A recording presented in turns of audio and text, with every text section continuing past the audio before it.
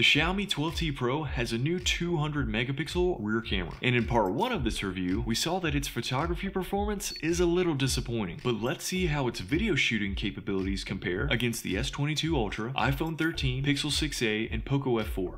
To start, the focus tracking feature on the 12T Pro does work pretty well, at least for humans and dogs. You can shoot and log from the stock app, which could be useful, and slow motion shots aren't bad, but they're capped at 1080. A nice 4K 120 FPS option, like the OnePlus 10 Pros would have been a fun addition. Let's start with some selfie camera shots. We have the 12T Pro's default video mode with the stock camera app, then the stock app with HDR turned on, and lastly Filmic Pro. Alright, here's the 12T Pro's selfie cam.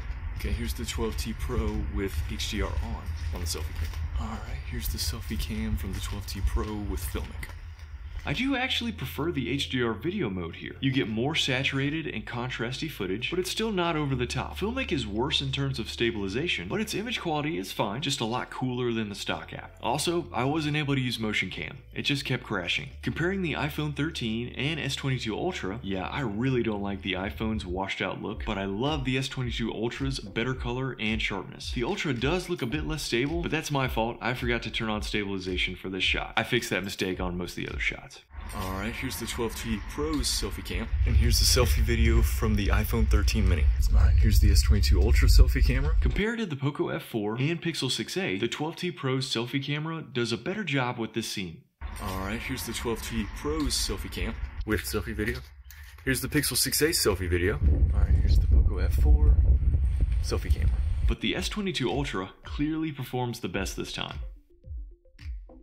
Here's the S22 Ultra selfie cam with video stabilization turned on, and it really looks great, especially outperforming the 12T Pro's just general blurriness. Here's an interesting problem I noticed with the 12T Pro. Much like in some of the still images that come from this camera, there's pinkish fringing or chromatic aberration present in a lot of shots. You can see it better in the zoomed in footage, and here's what it looks like blown up in editing. Actually, I do like the 12T Pro sharpness, that certainly beats the Pixel, but the discoloration needs to be fixed. Another shot from the main rear camera, and Filmic Pro does a better job limiting the clipping in the sky, but the stock app still handles itself well, although the stock app with HDR mode on blows out the sky badly for some reason. The S22 Ultra wins again here. Great color, no blown out highlights. The Pixel 6a comes in second this time. Not bad at all. S22 Ultra wins again, since I can guarantee that its video stabilization works well when turned on.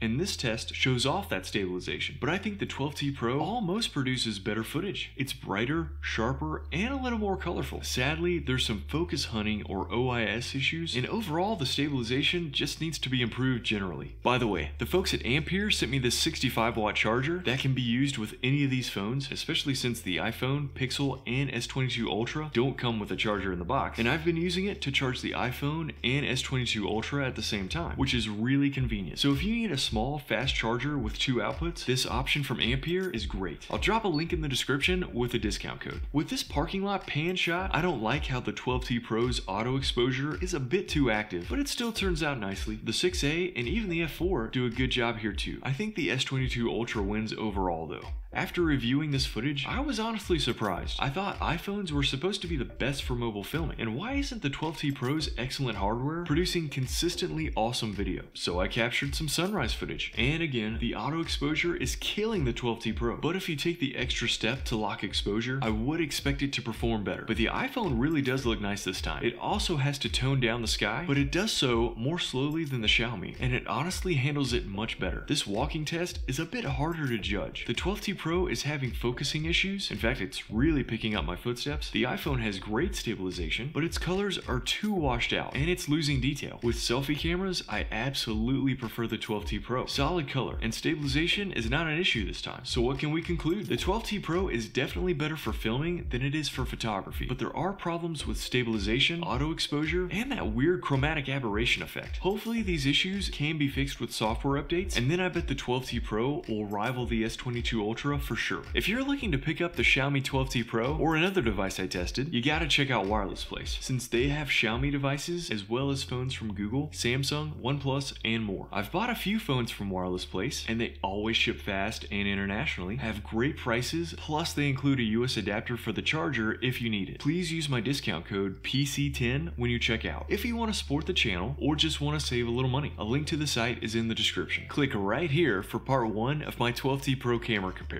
And I'll also drop my full 12T Pro review right here when it's ready. And please subscribe if you want to see more content like this. And feel free to comment with any questions you might have, and I will answer them perfectly. Perfectly! Like the way I wrap up my videos.